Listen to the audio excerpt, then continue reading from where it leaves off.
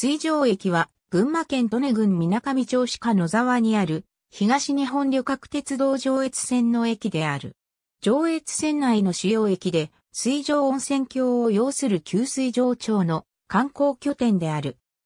かつては、上越国境越え用の機関車が配属された水上機関区が置かれ、当駅は通過禁止駅のため上越線の全列車が停車している。客車列車は補機の増解決が行われた。当駅を経由しない上越新幹線の開業後は上野駅からの特急、水上が当駅を終着駅とするのみとなっている。かつては高崎方面と長岡方面を通しで運転する普通列車も存在したが、現在では普通列車は当駅を境に運転系統が分断されており、いずれの方面からも当駅で折り返しとなる。越後湯沢、長岡方面下りの定期旅客列車は、平日が1日6本のみとなる。また、初列車が8時台、最終列車が20時台となっている。当期には、スキー客の利便性向上のため、列車が増発される。新潟県方面へは、旅客列車よりも貨物列車の方が列車の本数が多い。また、当期は積雪など気象状況により、当駅と越後中里駅間の普通列車が大幅に遅延、または運転見合わせになることも少なくない。駅の管轄は高崎支社だが、日本国有鉄道時代は新潟鉄道管理局の管内だった。現在はドア駅まで高崎支社が管轄しているが、運転指令書の面では当駅を担当協会としており、上越線、高崎支社管内としても東京近郊区間の北端の駅にあたる。改修前の駅舎1番ホーム2番ホーム単式ホーム1面1線、島式ホーム1面2線、計2面3線のホームを有する地上駅。両ホームは1本の古線橋で連絡している。このほか、駅南側に留置線があり、一時待機や夜間、大泊に使われている。コンクリート2階建ての大きな駅舎を持つ。2001年に入り口部分を増築した。直営駅であり、管理駅として岩本駅土合駅間の各駅を管理している。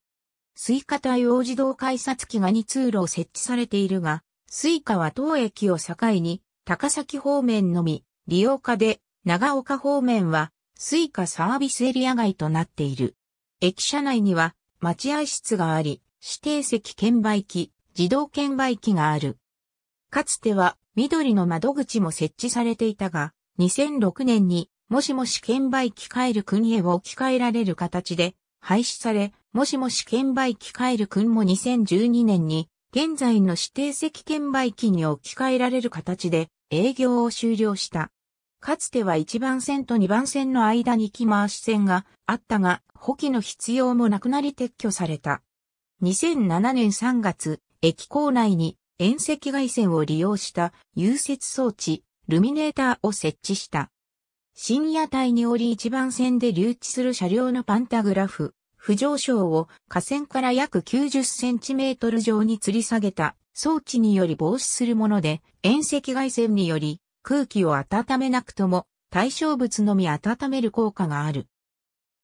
車両が留置される23時から5時30分までの間に降雪感知器、凍結温度センサーのいずれかが一定以上の数値を感知した場合に作動する。なお、設置前は人力でパンタグラフの除雪作業を行っていた。